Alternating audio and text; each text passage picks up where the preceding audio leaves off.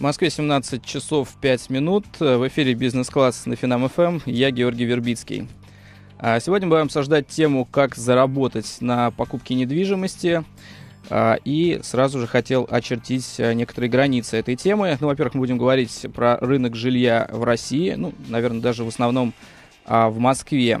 Будем рассматривать квартиры как наиболее интересный сегмент, то есть э, коммерческую недвижимость трогать не будем. А, ну и, собственно, наверное, две вещи, а, два направления, как можно заработать на а, покупке недвижимости. Это покупка как инвестиция некоторая, либо это покупка для сдачи в аренду, либо это какая-то, наверное, может быть, комбинация вот этих вот э, двух э, вещей. У меня в студии гость, э, он будет помогать мне освещать эту тему. Это Екатерина Тейн, партнер Chesterton International Real Estate. Екатерина, добрый вечер. Здравствуйте. Ну, давайте сразу возьмем пример. Вот есть человек, у которого образовались э, свободные деньги каким-то образом. Не будем говорить каким. Заработал бизнес, э, может быть, э, зарплата, неважно. А где-то от 3, допустим, до 7 миллионов. Ну, не очень много, ну и не очень мало. То есть, э, и он думает, как же их э, использовать, как можно их эффективно угу. приумножить.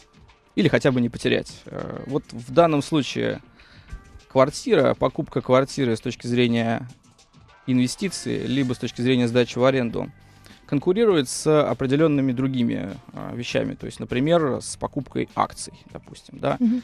а, либо с банковским депозитом. Угу.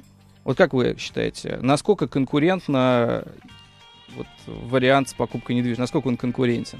Ну, 3,7 миллионов рублей, я правильно понимаю, или долларов? А, рублей, да. Рублей.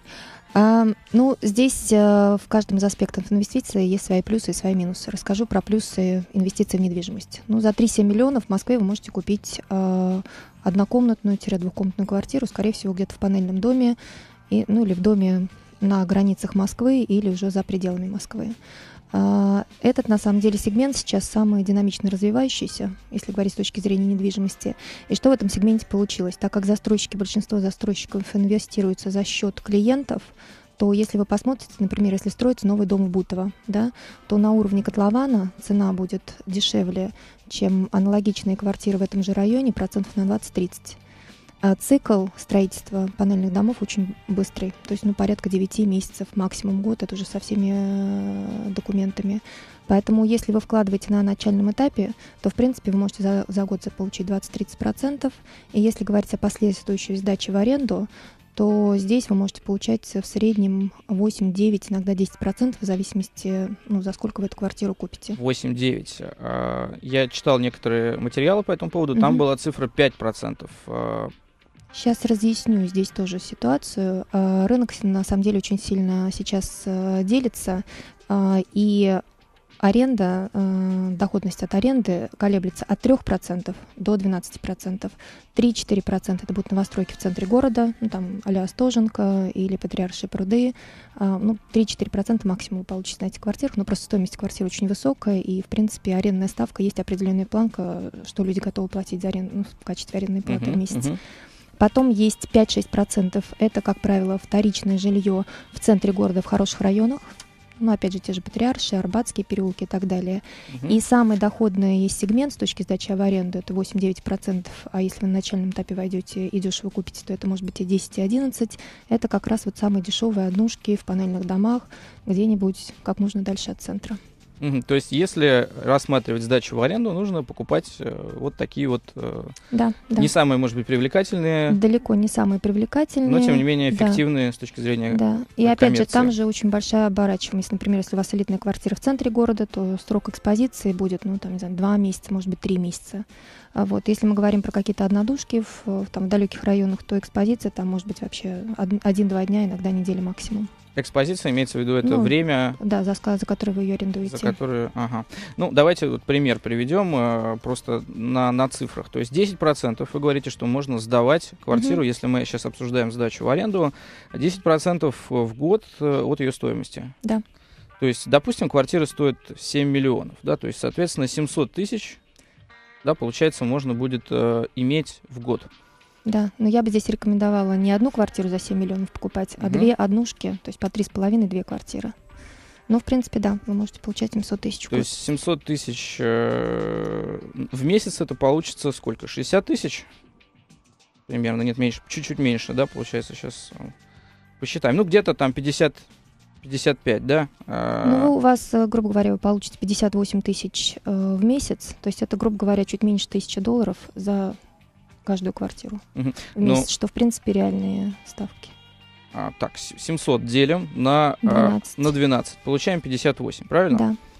А, соответственно, 58 тысяч в месяц предполагается, что стоит однушка где-то в Бутово. Нет, Насколько это, это на 7 реально? миллионов вы купите две квартиры. А, две квартиры. Да, да, да.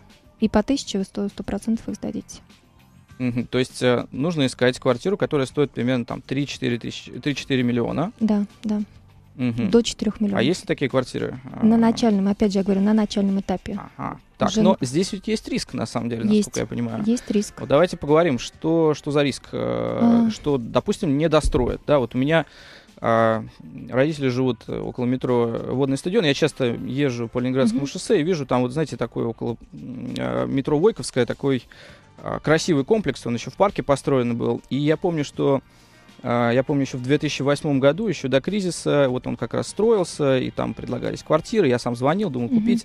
А, и вот сейчас э, я вижу, что практически нет, там не горит э, свет, то есть есть ощущение, что там какие-то большие проблемы, потому что а люди, ну, то есть до сих пор он как бы не продан, либо продан, но там не живут, то есть Какое-то время я слышал, что там были какие-то проблемы именно с, mm. со строительством. Ну вот такая ситуация. Насколько она реальна вообще? А, ситуация, Каковы шансы? Ситуация реальна, но таких проектов, если говорить про Москву, не очень большое количество, но такие проекты действительно есть, у которых возникли проблемы у застройщиков либо с разрешительной документацией, либо на уже на заключительном этапе э, принятия дома госкомиссии, например, там застройщик не выполнил обязательства перед городом и так далее, и так далее. А здесь нужно очень внимательно на этапе котлована, когда вы покупаете квартиру, посмотреть э, разрешительную документацию застройщика. Если у застройщика есть разрешение на строительство, то риски уже становятся минимальные.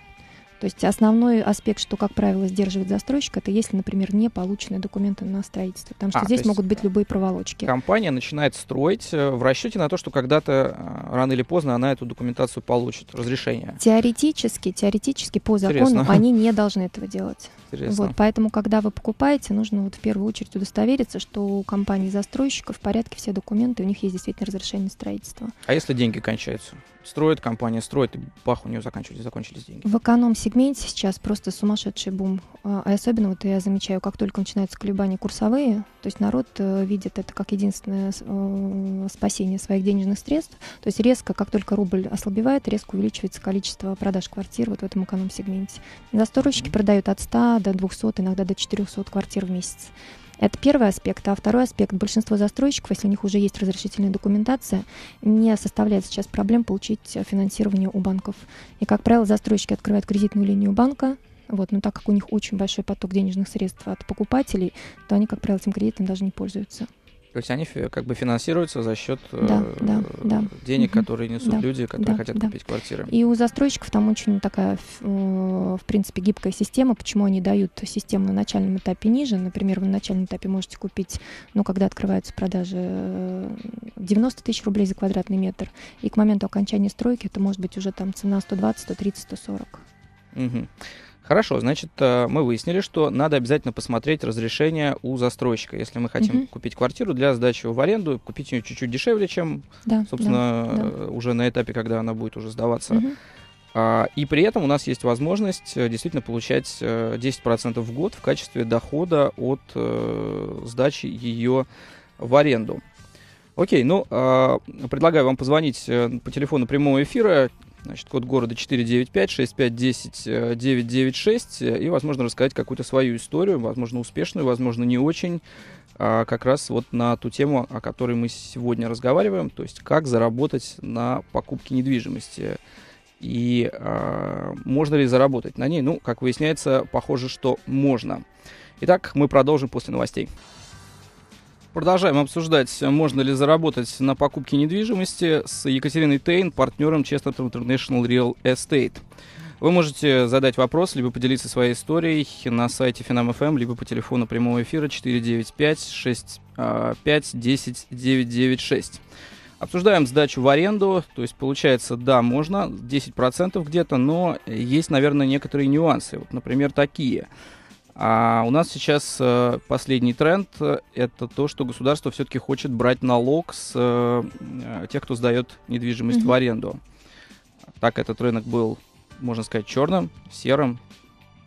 А теперь хотят вывести и собирать 13%. Э, то есть это потенциально может несколько снизить доходность сдачи в аренду. Как вы считаете, насколько это перспективно, вот, что действительно нас всех, э, тех, кто сдает квартиру, обяжет это делать? Ну, интересно, что хочет. В принципе, любой человек, который сдает квартиру, он обязан платить налог. А, в прин... Э, и э, меня вообще иногда эти разговоры удивляют, потому что по сравнению с теми процентами, которые платят люди на Западе, в принципе, 13% это минимальное, что вообще, что, что на сегодняшний момент существует. К тому же на сегодня, если вы сдаете квартиру в аренду, можно оформить ИП, вы платите 6%, можно купить патент. И вы там платите фиксированную сумму. То есть это, то есть вот эти 13% на сегодняшний момент можно еще оптимизировать. То есть если мы говорим про налоговую составляющую, то она не такая большая. Если сравнивать с западной, ну, со странами Западной Европы, у нас просто минимальные проценты, жаловаться нам вообще просто грех. А как вот э, действительно устроено это на Западе? Сколько примерно процентов берут э, ориентировочно, допустим, в Соединенных Штатах Америки? Нет а, таких данных? В Америке там, а, помимо того, что с вас а, возьмут агентскую комиссию, агентская комиссия с вас возьмут еще НДС, потом с вас возьмут еще там колоссальные расходы эксплуатирующей компании. Потому что в Америке, вот у меня лично был опыт, то есть мы купили квартиру в Сарасоте, когда я просто посчитала на бумаге, за сколько мы ее купили, за сколько мы ее продали, получилось круто. Ну, там где-то mm-hmm. процентов 35. Когда я села на бумажке, посчитала агентскую комиссию, там один налог, другой налог, эксплуатирующую компанию, то все равно получилось доход, там доход получился в районе 22%, но он существенно ниже, чем казалось вот просто на вскидку. Вот. И если у нас еще это как-то можно оптимизировать там, тут, то там, в принципе, все очень четко. Вот. Получили ну, нас, деньги, да. У нас тоже агентская комиссия тоже присутствует и вполне... Ну, не такая большая. Агентская комиссия в Америке от 5% выше. То есть 5% меньше 5% в принципе не бывает. То есть, если вы хотите сдать квартиру в Америке, то вам нужно закладывать, что 5% а, от сдачи от, там чего? еще от больше. Голового, от, от годового сдачи... дохода от сдачи? Что Нет, 5% это купли-продажа. Ага. А, ага. это купли-продажа. Купли-продажа. 5-6%. Плюс еще вы заплатите еще НДС на это. Угу. Вот. А от сдачи в аренду, ну, традиционно это как э, везде, это один месяц. От, э, ну, то, то есть то же самое, как и в России. Да, то же самое. В мире да. те же самые расценки. Хорошо, то есть 13% мы оптимизируем, получается ИП 6, 6%. Или можно, если с патентом, если у вас несколько квартир, то, в принципе, там еще можно уменьшить. Вопрос лишь в том, насколько захотят люди идти на это, потому что единственное, что их может э, побудить идти, пойти на это, это некое возвращение в некую правовую сферу, то есть получение некой гарантии, что есть договор, э, с которого, собственно, платятся все налоги, соответственно, все это может решаться уже есть и, как бы клиент, э, то есть, ну, собственно, тот, кто сдает в аренду, избавляется от риска, что э, он будет э, обманут, там, скажем, mm-hmm. тем человеком, кому он сдает эту квартиру. То есть вот, это, вот эти вещи. Ну а больше вроде бы как каких-то особых стимулов на самом деле нет. То есть проследить и как бы наказать человека очень сложно. То есть как, как можно понять, сдает он квартиру или это просто, ну, скажем, какой-то родственник или что-то еще. Есть такие механизмы? При желании всегда можно. На Западе это работает все очень четко. Вот, то есть если правительство решит в какой-то момент закрутить гайки, то они найдут способ, как это сделать. Угу. Ну хорошо, у нас как раз еще э, с такси похожая история с э, нелегальным извозом. Вот, собственно, пока что-то не, не видно, что закручивают гайки. Ну окей, это уже немножко а, вне нашей темы. Давайте вернемся к, к нашей э, основной тематике, то есть э, за, заработок на покупке недвижимости. Сдача в аренду рассмотрели, окей. А теперь давайте посмотрим, э, что можно сделать в случае, если вы купили квартиру как, как некая инвестиция. Mm-hmm. У меня есть график IRN, в общем, достаточно известный сайт, э, знаете mm-hmm. такой, да, да ARN. Э, и э, я посмотрел, просто сделал график с 99 -го года по 2012 по текущий момент. И видно было, что тенденции, в общем, похожие э, на... Тенденция стабилизировалась последние пара лет после кризиса цены растут, но растут достаточно спокойно и так, ну, можно сказать, волатильно. То есть, э, если с 2005 года, примерно даже с 2004 была такая кривая вверх, очень плавная, mm-hmm. то есть э, цены росли постоянно и на совершенно сумасшедшие проценты. Да, да, да, именно так. То где-то в 2008 году цена за квадратный метр достигла 6 тысяч долларов, ну, средняя по Москве, угу. и после этого упала на уровень 2006 э, года примерно. Там некоторое время стабилизировалась, и потом начала плавно расти. И вот, собственно, до э, сейчас пока что даже не обновила вот эту планку 6 тысяч долларов. А, то есть, о чем это говорит? Что, в общем-то, если и рассматривать э, покупку жилья как инвестицию, то это все-таки связано с риском того, что э, цена может не вырасти. То есть те люди, которые а, купили жилье в 2007-2008 году, они, в общем-то, потеряли, по сути. Так ли это? А, ну, то, что вы сейчас говорите, это средняя, ну, что называется, средняя температура по больнице. Да, да? Инвестировать да. в недвижимость всегда можно, и всегда есть разные способы. Другой момент, что они всегда меняются. То есть, наверное, каждый год, два, три, то есть они меняются. Точно так же, что если мы возьмем даже до кризиса, например, там 2005-2006 год активнее рос элитный сегмент, потом накануне кризиса самый активный рост был в бизнес-классе, сейчас самая активная с точки зрения эм, роста, но опять же рост, я объясню, какой рост. Это эконом-сегмент, какой рост. Если вы просто купили в готовом доме, там какой-то старом панельном доме э, квартиру в Бутово, то в принципе она расти не будет. Ну то есть там может быть там 3, 4, 5 процентов. Вот. Э, в эконом-классе, как сейчас инвестируют, это, я говорю, покупают на раннем этапе, и за счет того, что у застройщика существует четкая разница и довольно большая между начальным этапом строительства и, э, и этапом завершения. Угу. То есть вот на этой, да, да. на этой дельте можно как раз получать очень неплохие деньги. Но вот в среднем где-то от 20 до 40 процентов. Это очень хороший на сегодняшний э, момент деньги. А, вот, поэтому, ну, такие деньги я даже не знаю, где еще можно получить. 20-30% в год, да, это действительно. Да, да, но это при условии, при условии при том, что вы инвестируете на раннем этапе. Вот, и вместе с застройщиком, потому что застройщик, застройщик сам, они уже в, в зависимости от рынка, они варьируются. Например, они первую планку, как правило, самые первые квартиры они продают даже, может быть, э, дешевле рынка, иногда они даже продают, э, иногда по себестоимости, иногда даже ниже, чтобы вот, ну, разогнать вот этот вот маховик. Угу. Вот, то есть первые люди принимают, они берут на себя максимальный риск, и потом они поднимают цену стабильно месяц, каждые два месяца, ну, в зависимости от того, как, как ситуация на рынке складывается.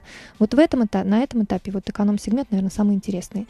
И опять же, здесь прогнозируемо, когда вы можете войти, когда вы можете выйти. Если вы решили потом выйти из этого сегмента, например, в элитном сегменте, а, там тоже можно инвестировать, но экспозиция элитных квартир, она довольно высокая. То есть это год, может быть полтора, может быть и больше. В эконом-сегменте там чуть-чуть вы подвинулись в цене, чуть-чуть вы опустили планку чуть ниже застройщика, и все, вы квартиру продадите в течение недели, максимум месяца. Угу. Да, интересный, кстати, это вопрос э, ликвидность, то есть насколько легко потом продать квартиру. То есть если сравнивать, допустим, вклад в банке, угу. да, э, покупка акций, ну акции, если брать какие-то угу. голубые фишки, самые основные акции, они достаточно ликвидны, то есть в любой момент можно войти и выйти. А вот с точки зрения как бы квартиры, как как здесь, вот насколько легко выйти из... Э, вот нужны деньги, срочно, срочно нужны деньги. Срочно нужны деньги. За сколько? Э, в эконом-сегменте скидываете цену, и вы довольно быстро ее продадите. В элитном сегменте сложнее, но опять же зависит от того, насколько вы скинули э, стоимость. Но опять же, я согласна, с точки зрения ликвидности акции гораздо более интересный инструмент, потому что захотели, продали тут же, да. В недвижимости такого нет, все равно у вас появится. Даже, даже момент сделки, пока вы получите, подписали документы, проверили, провели переговоры и так далее, и так далее, это два месяца как минимум. Ну, месяц это просто самый короткий Месяц сроки. это самый короткий срок. Да, да, да. Вот, но зато недвижимость, например, я не знаю ни одного клиента, который бы там потеряли все деньги на недвижимость или даже какую-то очень существенную сумму на недвижимости. Зато я знаю огромное количество клиентов, которые потеряли колоссальные деньги на фондовом рынке. Вот поэтому здесь, ну, с другой стороны, те, кто знает, что делать, они точно так же в 2006-2007 году получили и колоссальные прибыли. Вот. Но здесь все-таки просто, на мой взгляд, просто гораздо рынок более динамичный, и нужно очень хорошо разбираться в том, что ты делаешь, постоянно держать руку на пульсе. Недвижимость, это как раз, вот как вы правильно сказали, появилась у меня там 3 миллиона 7 миллионов, то есть вот я там побегал, там, не знаю, месяц, купил квартиру и про нее забыл, сдал в аренду. На фондовом рынке вам нужно постоянно, постоянно, постоянно за всем этим следить, иначе можно лишиться просто всего.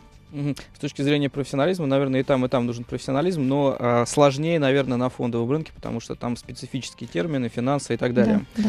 А у нас э, на линии Кирилл. А, здравствуйте, Кирилл. Вы в прямом эфире. Здравствуйте, здравствуйте. У меня вопрос такой специалисту. А, на сегодняшний день а, составляющая непосредственно себестоимости строительства жилья какова по оценкам? И какова разница между себестоимостью и дельта, соответственно, составляющей продажная на стадии строительства и после? Если возможно на такой вопрос ответить. И насколько эта оценка вообще э, ну, э, та самая разница, она объективна по отношению к ценам недвижимости в Европе. Спасибо большое за внимание. Спасибо, Кирилл. Ну, смотрите, этот вопрос очень многие задают клиенты, то есть когда они ходят, особенно ну, в эконом-сегменте может быть меньше, а если мы говорим там про Остоженку, где цены могут достигать 25, 30, 40, 50 тысяч долларов за квадратный метр, у всех возникает один вопрос. Все примерно могут оценить, сколько стоит коробка да, ну там плюс-минус, там от 1000 долларов за квадратный метр, ну на стоженке это может быть так как более дорогие материалы, кондиционирование и так далее, и так далее, это может быть там 3000 долларов за квадратный метр. Но здесь вступает в силу огромное количество еще э, инструментов, что должен заплатить застройщик, прежде чем он построит дом.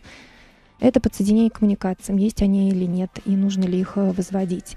Это раньше это была доля города, то есть от того, что застройщик построил, то есть он часть должен был отдать городу, либо продать, либо просто отдать площадями. Это, а, например, то же самое, если они привлекают банковское финансирование, то банковское финансирование под проект это тоже как минимум там 12, а то и 15 процентов в зависимости от проекта. То есть если мы говорим про стоимость возведения коробки, то это максимум 30-40 процентов, а все остальное это то, что набегает еще плюс, плюс, плюс, плюс. Плюс получение самой площадки, плюс разрешительная документация, плюс э, архитекторы. А, плюс маркетинг, плюс э, агентство, комиссия агентством. То есть все вместе. То есть вот то, что вы видите, кажется, да, действительно, построили коробку, стоит тысяча, а продают, э, а я я застройщики по три тысячи. Супер прибыли получают. Но реально, если все это начинать э, раскладывать, то есть я не говорю, что застройщики бедные люди, но я не говорю, что они получают какие-то супер сверхприбыли. Кирилл спрашивал, есть ли отличия вот с, у нас и на Западе? Ну, на Западе, на Западе, смотря что с чем сравнивать, Запад, он разный. Если мы говорим по, по отношению к Лондону, то от Лондона мы все равно отстаем очень серьезно по ценам. Если мы говорим от Берлина, там самые дешевые цены в Европе сейчас это Берлин. За 2-3 тысячи евро вы купите роскошную квартиру с прекрасным ремонтом в хорошем месте.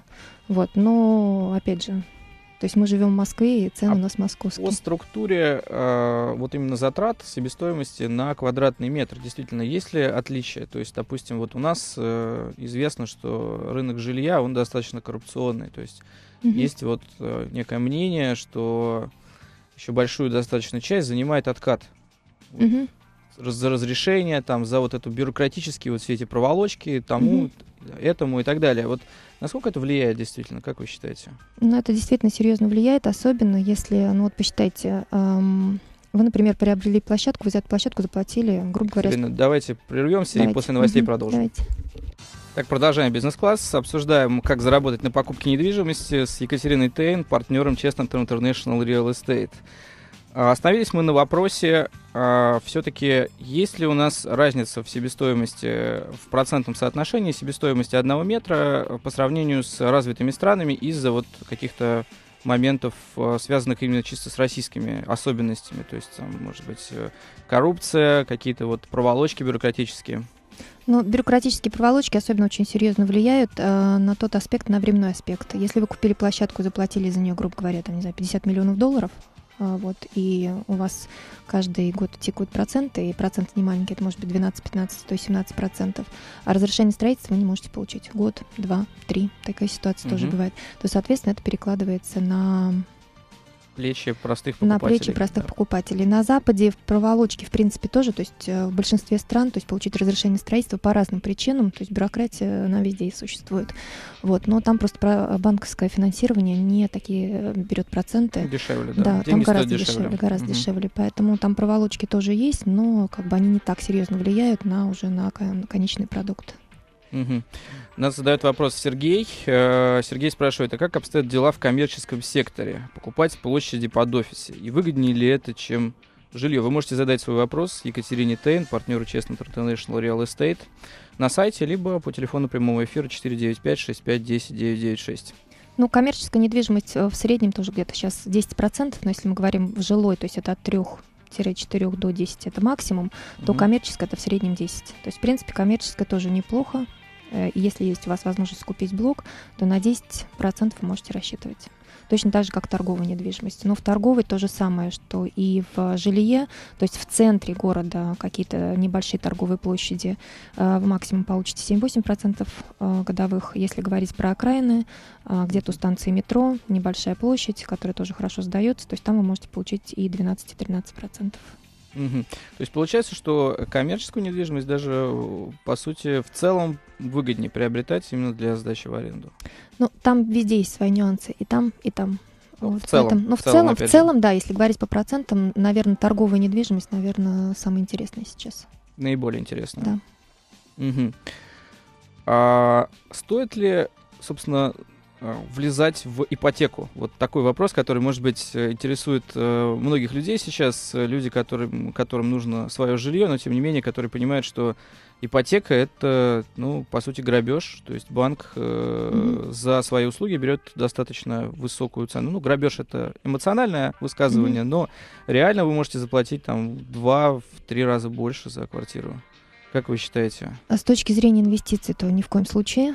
Вот, если вам нужна квартира, жить вам нужно сегодня, то если есть возможность воспользоваться ипотекой, то да, потому что, ну, мое мнение, цены в Москве на недвижимость не упадут, ну, потому угу. что, ну, Москва это один из э, нескольких мегаполисов в мире. И, в принципе, кризис не кризис, цены все равно держатся на довольно высоком уровне. Вот, поэтому другой вопрос, что проценты нужно четко рассчитывать свои силы потому что вот сейчас кризис, как показал, что клиенты попадают иногда в очень некрасивые ситуации, вот, когда они могут рассчитаться с банком. А как вообще, вот э, есть ли какая-то статистика? Больше людей сейчас пользуются ипотекой, меньше людей? Вот как, какая-то есть? Э, есть какие-то тенденции? Вот как кажется?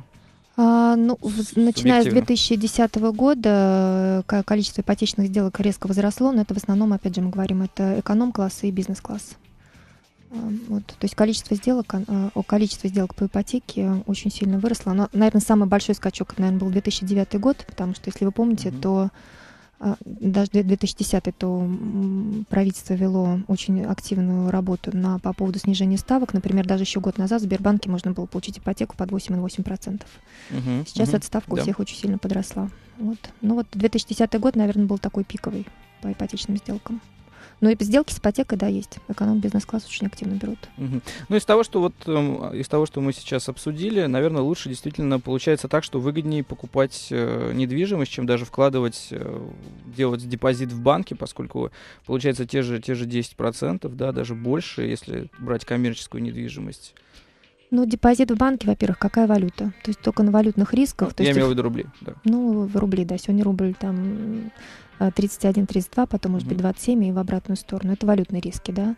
А, другой вопрос потом еще доверие банкам. Каким банки, да? То есть максимальные депозиты, опять же, если это какой-то вот банки, там, первая тройка, то 10% довольно сложно получить. А, вот, поэтому, ну, наверное...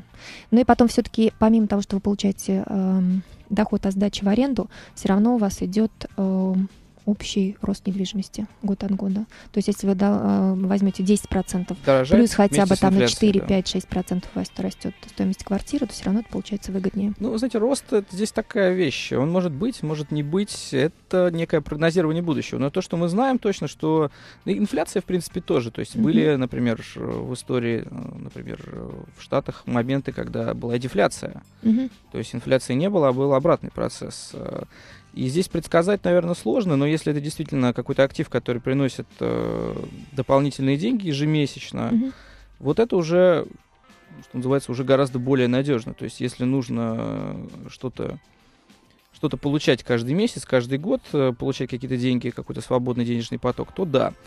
А банковский вклад чем интереснее, на мой взгляд, то что его можно рекапитализировать, то есть проценты по этому вкладу, например, ну есть те же 7 миллионов, э, положить их в банк, там, в несколько банков, то есть застраховаться полностью от риска, mm-hmm. в отличие, кстати говоря, от покупки вот недвижимости на этапе котлована, да, а, и после этого рекапитализировать проценты, то есть э, вкладывать, вкладывать и вкладывать, если вам эти деньги не нужны, здесь очень важный момент. Mm-hmm. И вот в этом случае, мне кажется, вполне по расчету можно обойти инфляцию и и рост теоретически стоимости квартиры. Вряд ли, я думаю, что он случится какой-то запредельный там, в ближайшее время. А, ну, очень сильно зависит от экономики, потому что в связи с тем, что сейчас произошло в Москве, то есть э, резко сократились объемы строительства жилья. То есть сначала из-за кризиса, Угу. Вот, а потом в связи со сменой э, администрации Московской области, теперь, э, ой, Москвы, а теперь и Московской области. То есть э, те объемы, которые сейчас поставляет Москва, 2009, 2010, 2011 год, они просто в разы меньше того, что было до кризиса. Вот, а тем не менее Москва становится не меньше, потребность в жилье становится не меньше. И вот, вот этот дисбаланс между спросом и предложением, то есть при условии, при том, что у нас не будет каких-то серьезных глобальных потрясений в экономике, то, в принципе, он все равно будет давить на в сторону повышения цен. Угу. Как раз э, сегодня увидел статью. Статья заглавная «Россия бьет рекорды по ценам, по росту цен на недвижимость». Э, и написано, что летом Россия перескочила с восьмой на четвертую строчку в рейтинге Global House Price Index, э, показывающим динамику роста цен на квадратные метры. То есть вот удивительно, но тем не менее, для меня, по крайней мере, было, что все-таки а, в России жилье дорожает. И такой интересный аспект, вот Москва, допустим, да, угу. ну, понятно, что это столица, но по-хорошему-то неужели люди не понимают, что плохая экология, да, а, пробки постоянные, ну вот как вы считаете, ну, а есть как... ли такая тенденция, что будут все-таки люди, э, скажем так, более реально смотреть на вещи?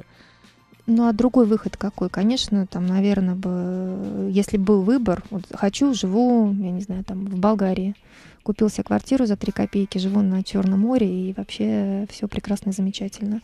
Вот, ну, во-первых, деньги можно зарабатывать только в России, на сегодняшний день. То есть огромно, ну, особенно когда кризис ударил, огромное количество клиентов, вот с кем я разговаривала, там, 2008-2009 год, то есть такие были упаднические настроения, вот уехать за границу.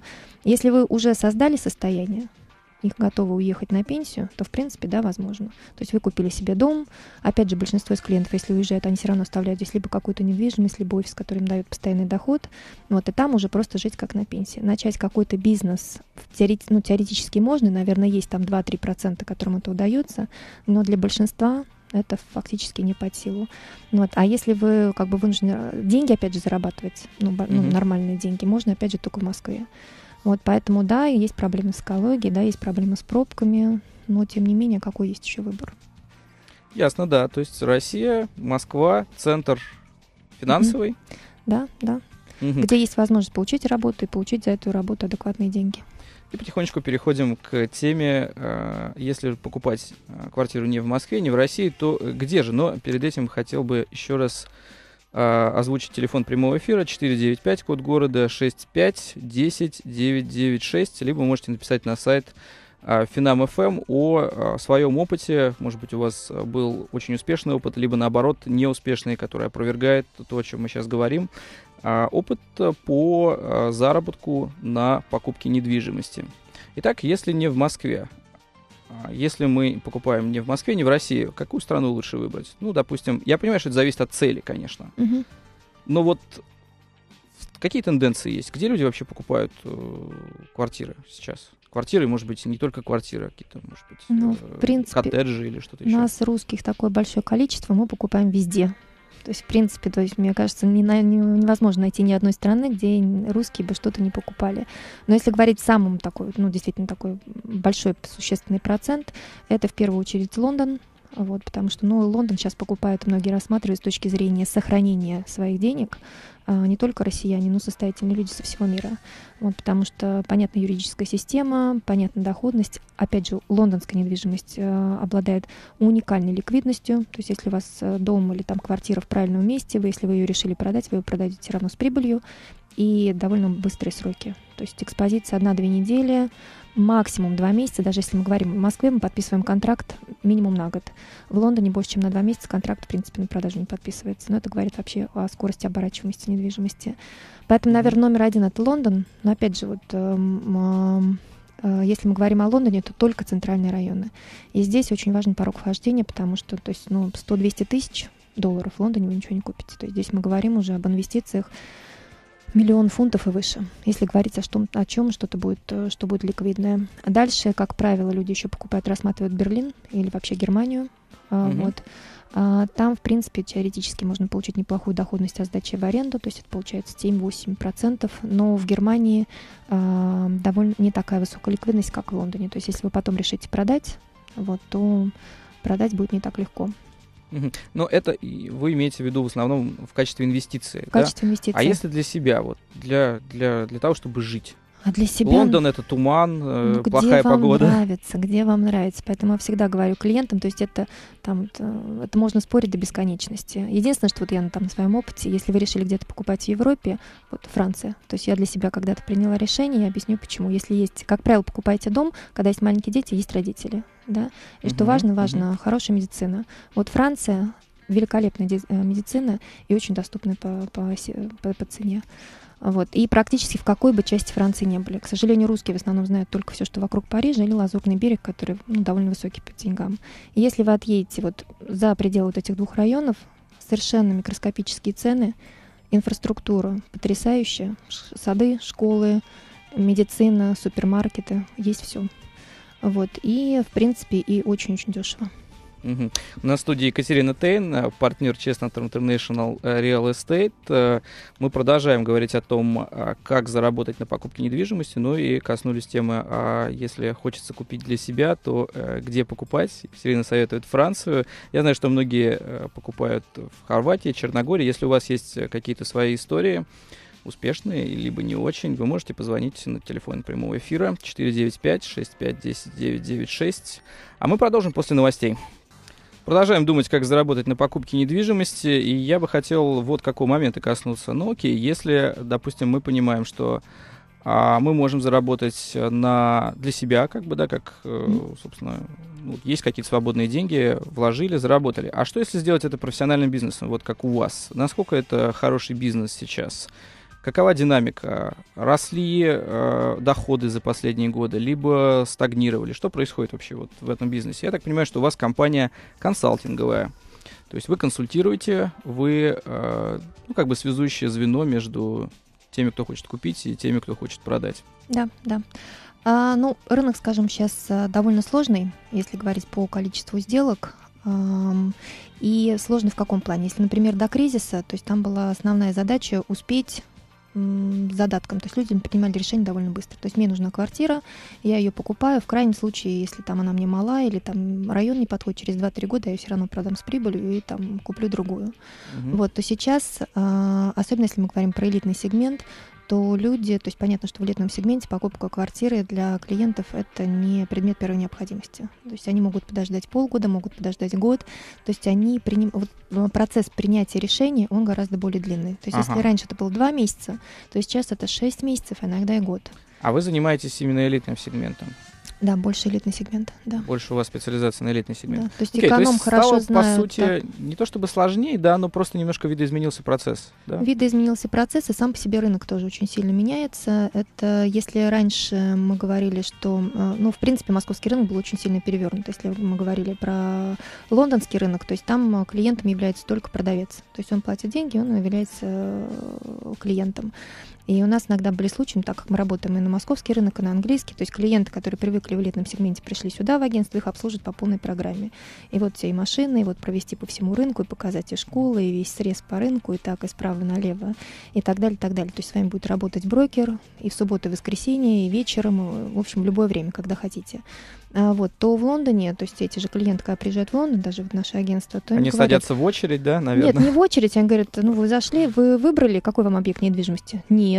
Не, ну вот вы посмотрите на да. сайте, да, вот найдете и придите. Для многих клиентов, особенно если они считают там не бюджет, там 4-5 миллионов, то они считали, что это просто вообще вот как за оскорбление. Оскорбление, да. Да, Мгм. вот. Но сейчас и в Москве потихоньку рынок э, тоже меняется, потому что особенно вот последние 2-3 года, как только появились вот единые базы данных, клиенты на самом деле сами могут зайти и посмотреть, какие квартиры есть, вот, то, в принципе, сейчас основная задача агентств, э, ну, и важно иметь клиентов на покупку, но важно иметь еще в своем арсенале хорошие объекты на продажу и по адекватной цене. Мгм. То есть, э, правильно я понял, что некая как бы стагнация бизнеса наблюдается из-за вот более долгого цикла, Особенно- доходы немного падают. Особенно, э, в элит- ну, понимаете, доходы как? Доходность в этом бизнесе, скажем, 10-20% это максимум. Если в самом-самом топовом сегменте работаете, до кризиса это было там 30%. Это просто потолок. Это имеется в виду комиссия от, от Нет, сделки? это общая доходность, это общая доходность. Ну, вот ваш оборот, например, и Мгм. вот то, что вы получите за, за вычетом там аренды офиса, там э, там э, зарплаты, реклама и так Мгм. далее, и так далее. То есть вот оборот, покупка-продажа, да, там, допустим, 10 Мгм. миллионов, грубо говоря, 10% вы забираете с этого миллиона. Нет, подождите, комиссии агентские, они стали стандартные. То есть это агентская комиссия, это м, 3% в среднем. Так. мгм. Вот. Я говорю, что если агентство, ну то есть агентство сделало там не одну, не две сделки, например, вы Мгм, сделали, мгм. грубо говоря, там, не знаю, там 40 сделок за год. Так. Вот у вас там доходность, например, там, я не знаю, оборот у вас, то есть в, в агентской комиссии вы получили, грубо говоря, 5 миллионов. Вот из 5 пили- миллионов, то есть э, ваш чистый доход А, будет и- 20%. Из, из вашей как бы выручки, по сути, у Да, вас чистый да. доход где-то Да, 5%. Ага, то есть, в принципе, 20, 20. 25. 20 это максимально. А, это при 20, очень хорошо, мгм. если хорошо развивается бизнес. Вот. Но единственное, что преимущество этого бизнеса в том, что если сокращается, ам, ну, сокращается количество сделок, то у вас, соответственно, сокращаются расходы. То есть, в принципе, бизнес, то есть можно увеличить количество брокеров, можно сократить количество брокеров. Мгм. Как которые- вообще, что является таким локомотивом бизнеса? То есть это, наверное, люди, да, которые осуществляют все эти сделки. То есть что, что основным активом является в этом В бизнесе? первую очередь это люди. Вот у вас Люди есть офис, у вас контактные. есть люди, у вас есть база, да. Мгм. Основное это все-таки люди. Основное это люди. э, Люди должны быть э, образованы, если мы говорим про элитный сегмент, потому что все-таки, когда вы обслуживаете людей определенного уровня, то есть у вас должен быть соответствующий тоже уровень. Э, Это знание рынка, потому что знание рынка, например, когда вы едете по Остоженке, вы знаете каждый дом, когда он был построен, какой застройщик, преимущество одного дома перед другим, потому что даже там от качества строительства цена иногда может отличаться в одном и том же месте на 20-30%, нужно объяснить почему. То есть это вот за один день как бы не приходит. Но основное это люди, да, они должны быть образованными, клиентоориентированными, четко понимать, что клиент хочет. И если мы говорим особенно там о сделках там высокого сегмента, 5 миллионов, 10 миллионов и выше, то есть это люди, которые, в принципе, должны уметь общаться с такого уровня клиентами в том числе. Мгм. А как развивался ваш бизнес, в принципе? То есть были ли какие-то моменты, когда был сильный какой-то ну, прорыв вперед, например? И когда эти моменты были? А, Скорее, скорее наоборот, потому что мы открылись в 2010 году, и в 2010 году, ну, я думаю, что у всех было радужное ощущение, что вот, наконец, ну, все сделали копи-пейст, э, как было в 99 в 98 году. Мгм. 98 год кризис, 99 все отдохнули, у нас многие клиенты, кто наконец женился, кто уехал там в путешествие, кто еще что-то, и в 2010 году вернулись, все, вот оно пошло. Вот, и весна действительно была очень активная, а потом резко у нас прям вообще прям случилась эйфория, так все было хорошо и замечательно. Вот, и в, в конце 2010 начался такой серьезный спад, то есть люди не понимали, что происходит, понятно Ага. было, что мы из кризиса не вышли, вот, у людей началось такое реальное переосмысление. Вот, и 2011, скажем так, был довольно сложный год, и сейчас, в общем-то, такие прогнозы. Но, наверное, в элитном сегменте, наверное, самое сложное это то, что а, постоянно вот эта вот идет болтанка. Непонятно, что действительно происходит. И вот такие общие настроения. Причем, когда спрашиваешь клиентов, а что вот кризис, а, никто не может сказать каких-то вот реальных макроэкономических показателей, почему он должен быть. Причем я, например, нахожусь на стыке. То есть Россия, я очень много времени провожу в Англии, во Франции, и я вижу, что там, с точки зрения макроэкономики, ситуация гораздо хуже, чем в России. Но противостоять вот этому постоянному негативному состоянию людей, то есть у меня такое ощущение, что все настолько ждут вот этого, наконец, кризиса, все настолько в это верят, хотя логически никто не может сказать, почему он будет. Ну, у меня есть версия, на самом деле, поскольку я занимаюсь финансами. Мгм. Дело в том, что в 2008 году, 2009, э, когда грянул кризис, его как бы залили деньгами. То есть пр- напечатали, грубо говоря, ну, если очень упрощать, очень много денег. По сути, это как бы и послужило причиной восстановления, но вот этот вот дутый, накачанное, накачанное восстановление, никто просто не верит, что это реальное восстановление. То есть, грубо говоря, что спрос, реальный спрос у людей на, вот, на все будет восстанавливаться, поскольку он был подстег... под- э, подстегивался кредитами, подстегивался там ипотекой, и все люди, которые уже, по сути, использовали свои будущие доходы.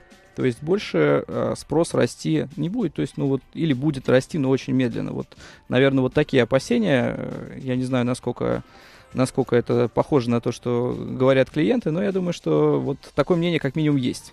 Ну, мнение в основном, что говорят, что... Ну, мне кажется, здесь больше очень важен такой вот психологический момент. А, Вот. Но самое сложное для экономики, это когда ничего не происходит, когда все начинают, ос- находятся в состоянии ожидания. Ожидание чего? Непонятно. Мгм.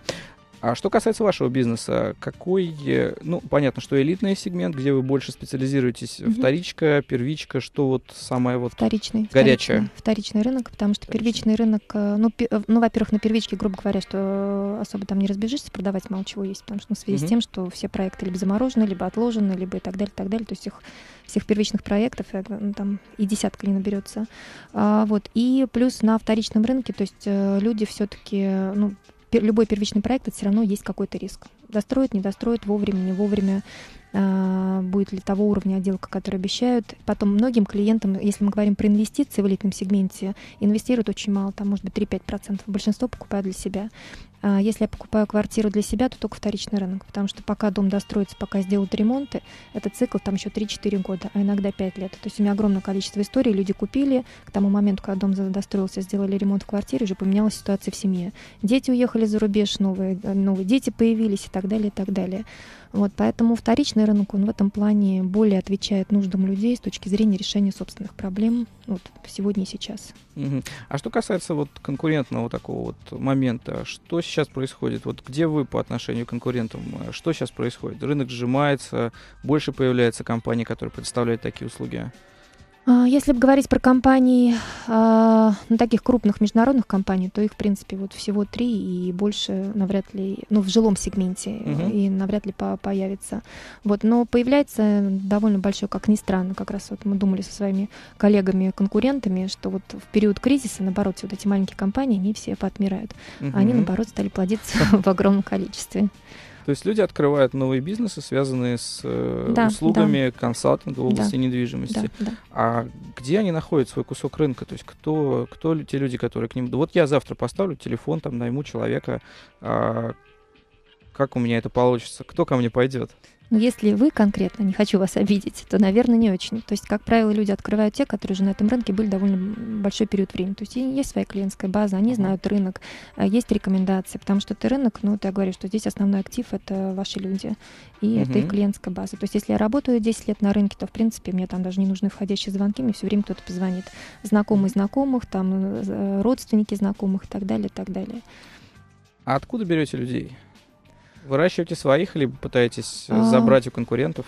Пытаюсь выращивать своих, потому что забрать у конкурентов, то есть, ну, в каждой компании есть своя там корпоративная культура, которую очень сложно потом переделать. Вот. И для меня очень важно, то есть, может быть, не самый большой бизнес, то есть я не хочу там стать по объему компании номер один, я хочу стать той компанией, которая, ну, то есть с большинством клиентов в элитном сегменте ты общаешься довольно долго, довольно плотно. То есть ты становишься в какой-то момент частью семьи, потому что ты знаешь очень много про эту семью. Mm-hmm. И для меня важно, может быть, очень ва- небольшая команда, но профессионалов, вот а это можно только вырастить вырастить самостоятельно. То есть, как правило, берем людей с хорошим образованием, у которых есть навыки продаж, а, вот, ну и, в принципе, которые могут анализировать. То есть даже довольно быстро нужно вникнуть в рынок и понять, а, перелопатить большой объем информации. Угу. У нас осталась буквально минута. А Екатерина, самая лучшая ваша сделка? Очень кратко. Самая лучшая или самая крупная? Самая вот, как, которую вы можете выделить по каким-то причинам. Либо она самая лучшая, либо она самая крупная, э, самая лучшая в плане дохода, прибыли. Что-то можете вспомнить сейчас? Ну, наверное, самая красивая. Самые красивые сделки, да. они, как правило, во Франции, на Лазурном берегу. Угу. Э, роскошный дом. Э, и, как правило, если такие крупные сделки, то есть эта сделка была конкретно очень большая, то есть, как правило, чем выше сегмент, то тем, может быть, да, иногда даже проще работать с клиентами. Они четко понимают, что они хотят, угу. они ничего не боятся, у них куча есть консультантов и советчиков. Э, вот, ну, это, наверное, на Лазурном берегу э, несколько месяцев назад. Спасибо. А, с нами была Екатерина Тейн, партнер Chester International Real Estate. А, мы уже заканчиваем. Спасибо вам, Екатерина.